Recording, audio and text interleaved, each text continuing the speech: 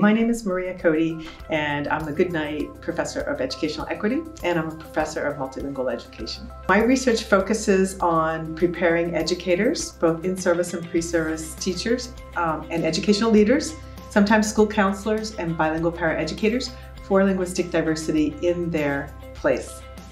There's lots of things you can do, and the first thing is don't panic. It'll be okay.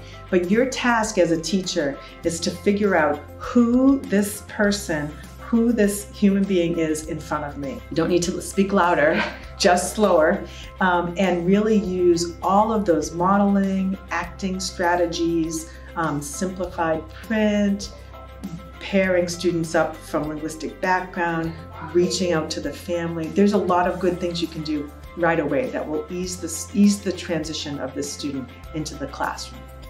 What teachers can do, even in a monolingual classroom, is number one, is to allow a student to use multiple linguistic repertoire, their whole repertoire, to make sense of what's happening in the classroom. So there's a lot of advantage, and teachers in monolingual classrooms could do things like that. They could introduce literature that is that has multiple languages, so students see prints, different kinds of prints, different scrolls, different linguistic systems, all around that space. And every child benefits from seeing that. And, you know, we talk about globalization. Well, there's one, one easy example to do that.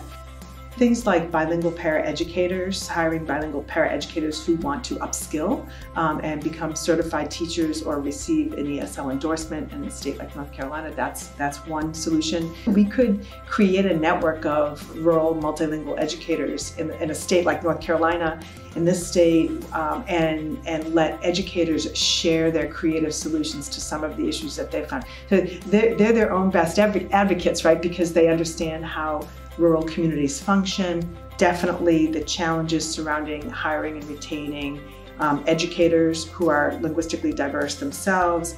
So there's a lot of knowledge here already, and I think sharing that knowledge is, is, um, is ex exponential. It's really good.